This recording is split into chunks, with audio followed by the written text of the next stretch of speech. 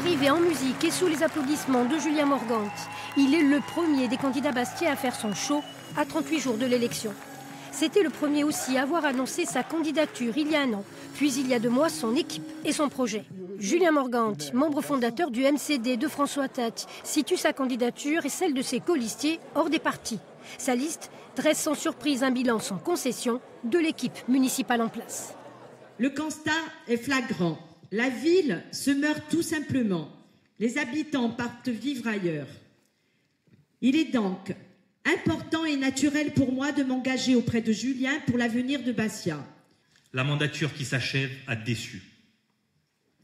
Nous sommes passés de l'espoir à la défiance. Car rien n'a avancé, car rien n'a été tranché.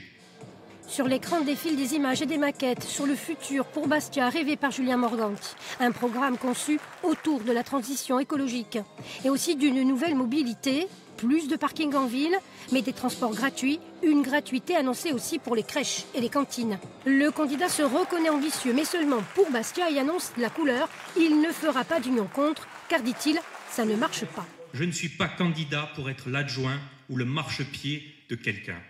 Je suis candidat pour être maire. C'est pour cela que vous devez me donner la force d'être en situation de rassembler.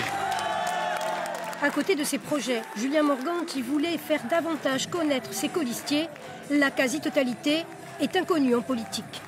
On voit que c'est une équipe très dynamique, très investie dans le projet, qui est un réel besoin pour Bastia.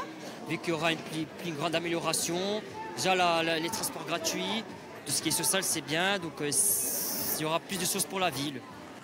La salle était pleine et déjà acquise à Julien Morgant, mais son pari personnel, arrivé en tête de l'opposition au premier tour de l'élection, est un vrai challenge pour toute son équipe.